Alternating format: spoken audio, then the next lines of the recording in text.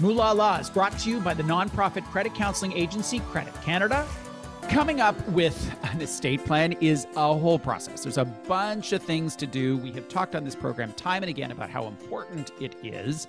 Uh, but one part of it that can be hard for people is choosing an executor. There are a bunch of duties that will fall to that executor. And sometimes people don't have a ready, willing, and able person in their circle that they can choose. And they may opt for something called a corporate executor. So today we're going to talk about how this option works, what it costs, all those sorts of things. Our guest is Leanne Kaufman. She is the president and CEO of RBC Royal Trust. Hello there. Hi, Bruce. How are you? Uh, what is a corporate executor? A corporate executor is an executor like you would consider any other executor to be, except in this case, you've named a corporation uh, typically, it's a trust company because trust companies are, by regulation, the only kind of corporation that can hold themselves out to be an executor. But all the same duties, all the same powers and responsibilities, um, just through a, a corporation as represented by its employees instead of an individual family member, friend, lawyer, accountant, what have you. And if it is a corporate executor, I'm not naming an individual. I'm not naming a specific name in my will. I'm naming a firm and then you would assign an individual to my to my estate? That's exactly right. You're you're naming the you're naming the firm and when the time comes to act, the firm will assign the team to you that will administer your estate um, just as any other professional service would uh, would would step in for you in in other forms of of service in your life. Tell me a bit more about why people would decide to do this.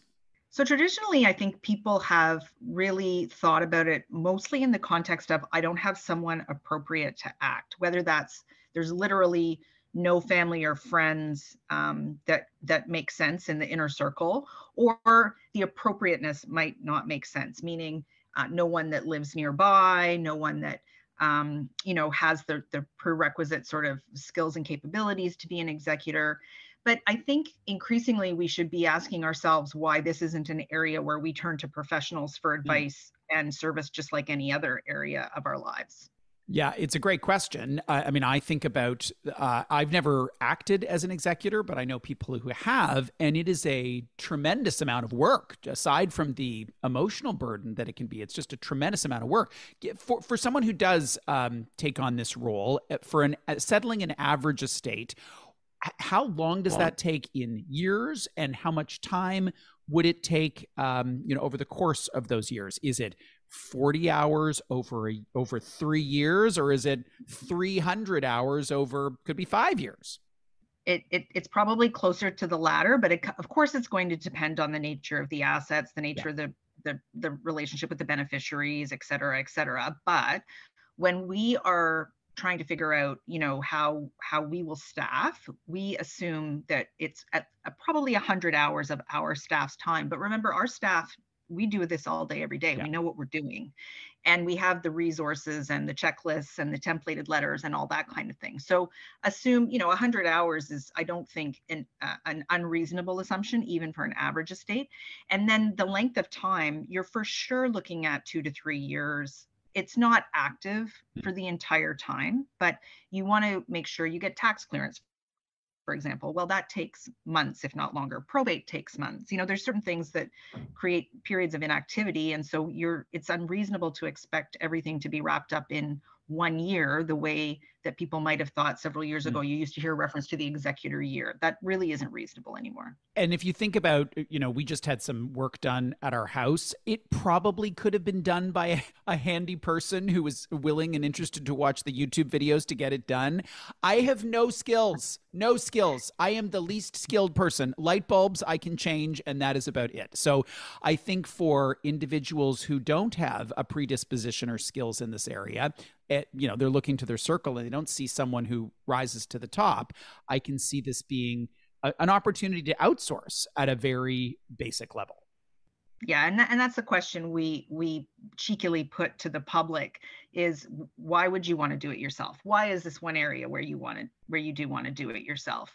You know we haven't mentioned the liability yet either. Mm. massive liability can potentially come with the role of the executor and if the executor is not also the sole beneficiary or one of the beneficiaries then you're you know you're putting yourself in a in a difficult position. Um, where you know in any other aspect of your of, of life you you probably would look to outsource. So it's mm. just it, it's bizarre to me that it's this sort of last vestige where we we hold on to the concept that we have to do it ourselves. Well and i think the equation that people need to to uh, sort through is cost versus benefit. I think the benefits are really really clear. What are the costs? How much does it cost? Yeah so so any executor can charge fees and they vary from province to province but generally speaking you could carry the number of you know a maximum of 5% of the value of the estate in your head as what i would say is the outside maximum. Um, at our firm we don't start at 5% we start at 3.75% and we we drop from there based on the size of the assets that we're talking about so it becomes a sliding scale I mean, typically, I can tell you that across all of the estates that we're currently administering, the average fee is around 2%, maybe a bit above, maybe a bit below. Now, again, that's average, some really big estates and some smaller estates. But again, you know, bear in mind, this isn't this isn't just something corporations do. Individuals can and do charge um, charge fees as well. Right. So you are thinking about it in the context of tens of thousands of dollars, depending on what the total estate is. And I assume that's invested assets and real estate and all those things. Yep. Any anything yeah. that uh, if, even if there's you know shares of a private company or something like that included, that those would those would get captured in the value of the estate. There is uh, a level at which an executor does does have some judgment. And i'm using air quotes around some because the, the, a great will has um, you know relatively limited uh, room for judgment because the wishes are clear. But in the case of a trust for example um, i've seen wills where the executor could determine uh, an amount that could be allocated to a kid's education before they come into the a potential windfall of a trust at age 35 or something like that. How does a corporate executor make those decisions in the absence of an integration into a family's culture and all the i mean i think there's a, a, big pro to that and a con because they weren't at thanksgiving in 1987 when that original fight occurred which is why he can't have the money from the trust well it's a great question and i should point out that it's also possible to have co-executors or co-trustees where it could be a corporate executor along with uh, family members ah, or friends. Okay so so that is an option. And if if there's a concern about carrying the family culture then that is one way to potentially address that. But having said that um you know corporate executors know the law and and the rules um, very very well. Uh, you know in the case of royal trust we've been doing this for almost 125 years. So it's um you know there's some fairly um, well established procedures. We have a committee uh, that meets to do discretionary decisions above a certain level. So um, we, you know, we get our legal brains involved, our senior managers, and uh, and the voice of the client representative all around the table to have a fulsome discussion, consider all the all the things that need to be considered, and make our decisions accordingly. One of the the benefits, just to come back to those for a second, is um, in particular circumstances and with, with, certain families, I'm sure that executor could be the target of a whole bunch of angst. How do mm-hmm. your professionals deal with that? Or is it as simple as, you know, a family lawyer in a divorce case, this is the job and you just have to roll with it. You're going to be in the midst of some some messy business. Yeah, there's there's no question that that sometimes our our clients our beneficiaries who are not happy that we're there um, so, you know, we just know that going in and we manage the relationship as professionally as we can. And um, like you said, you know, it's it's the job. And lots of times there are very grateful people on the other end of the phone, sometimes not so delighted, but you know, we as long as we know that we've done the job to the best of our ability, that we've lived up to our fiduciary obligations, then um, we stand by that. Do you uh, need to have been part of the creation of the will? or do you take, you know, could you be a corporate executor to any will as written? And I ask because there can be real variability in the quality of the will, and one that you are completely signed off, like, oh my God, this is the best will I've ever read. You could be a corporate executor and it would be easy. Some wills are a mess from the get go, and you were named as the corporate executor, and then you open up that Pandora's box box and think, I should have been a tax accountant. yeah, so we do prefer to see the wills ahead of time, not only to address some of the things you're talking about around the quality of the drafting, but also just to make sure that we can administer in accordance with the intention of what they're trying to achieve. Because sometimes it gets lost in translation. And we've seen both sides of it. We know what the drafting says in the planning side, but we also know some of the practical pitfalls because we have administered so many accounts.